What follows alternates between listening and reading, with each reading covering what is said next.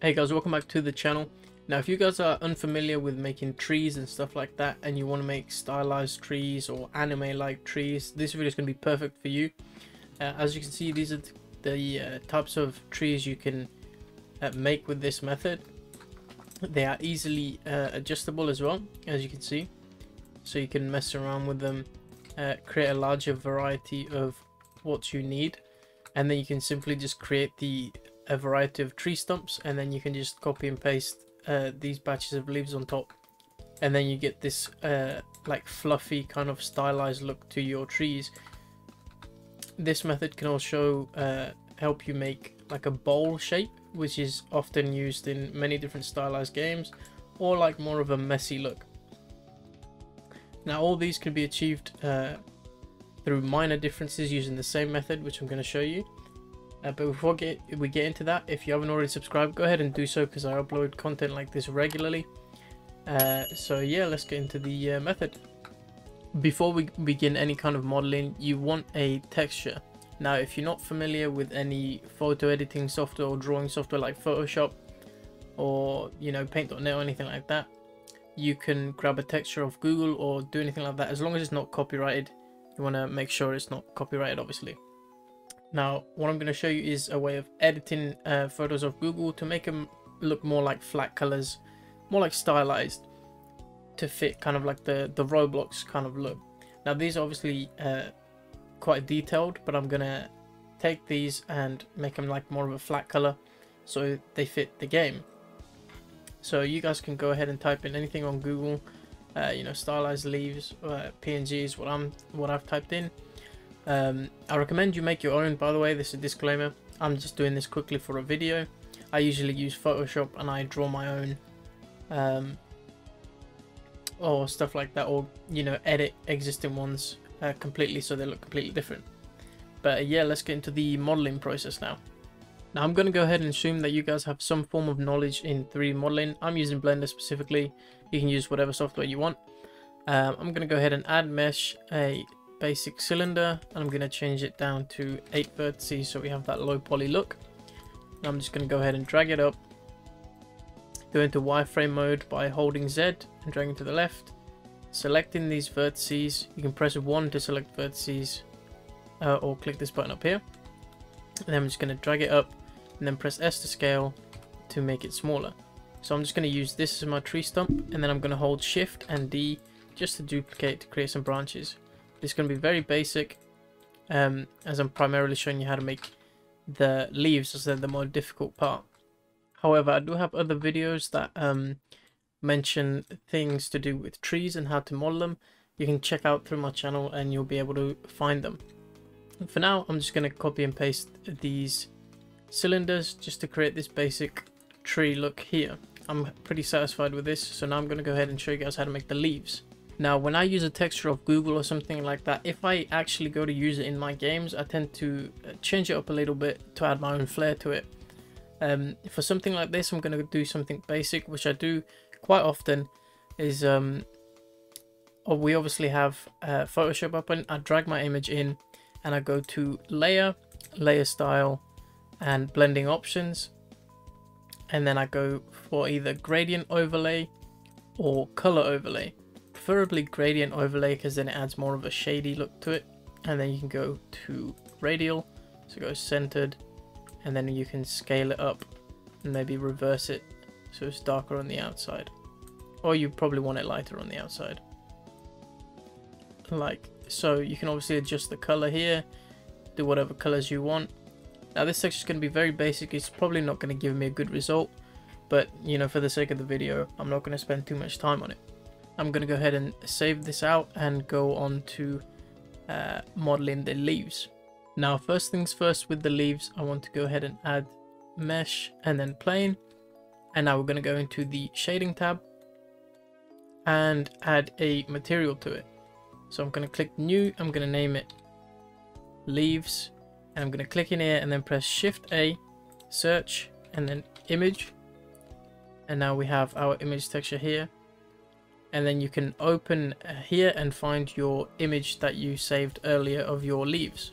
Once you've added your leaf texture in here, you want to just go ahead and drag it into base color. And as you can see you'll have your texture here. But obviously you have a black background which you do not really want. So to fix this you want to go ahead and drag the alpha to alpha here. And then uh, go to material properties here scroll down and then change blend mode from opaque to alpha blend. As you can see you now have a transparent background. Now to view your leaves in this uh, in the layout you want to go ahead and hold Z and go to material preview. Now obviously these are pretty flat leaves so to add a bit of detail to them you want to go into edit mode by pressing tab and then press Ctrl R to add some loop cuts. So now you can kind of deform these leaves so they have a little bit more uh, detail to them. As you can see here. Like so. Sometimes the texture may be a little bit weird. That's probably due to the uh, polygons or the vertices themselves. But obviously you can mess around with them, uh, get the look you want. I'm going to keep it somewhat flat for now. And that's pretty much it. I'm going to show you how to create this kind of uh, circular look here. Just so you get that fluffy uh, circular look that you find in stylized games. So let's go ahead and do that now real quick. So to do that, what I usually do is I'll move aside this uh, leaf texture and then I add mesh and then a sphere and I'll just move it up.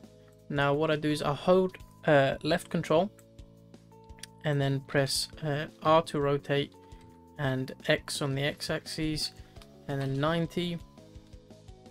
So now I can uh, somewhat have my leaf like this and now basically to uh, wrap these leaves around in a circular shape I just wrap them around the uh, the sphere so I'm gonna do that real quick and then uh, get back to you now a quick way to uh, wrap the leaves around the sphere so what I do is I'll uh, duplicate this by pressing shift D or control C control V and then press R to rotate Z to rotate on the Z axis and then 180.